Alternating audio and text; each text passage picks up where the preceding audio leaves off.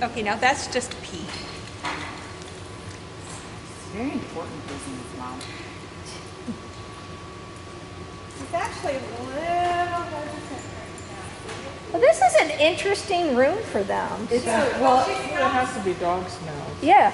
and Callan has gotten super, um, like really more stable. But even when he came in, it was some piloerection, a little bit of like, ooh, what the hell is this place?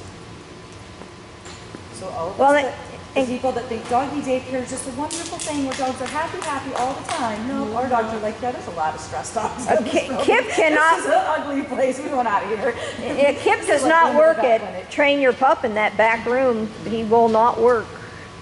Ashley thinks And he's that- this really timid, shy dog. I said, you need to see him in other places because he's Yeah, not. A fan of doggy daycare, unless it's very consistent, very stable, very small play groups, where it's like groups of dogs. Yay. Yeah, good.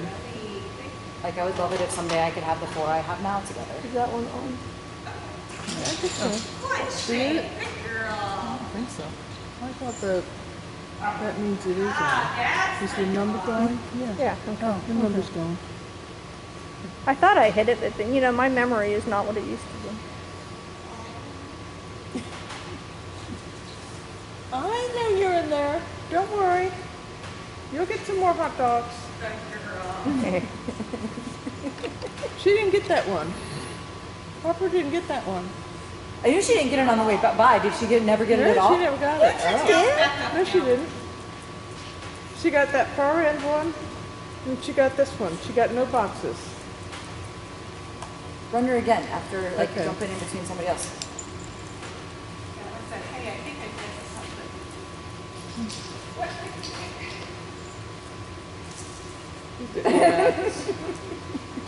like I think I went past something. I'm not something sure. over here. There's something over here. Where did it?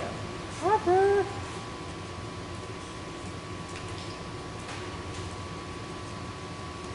Yeah, Yay. very nice. Very nice.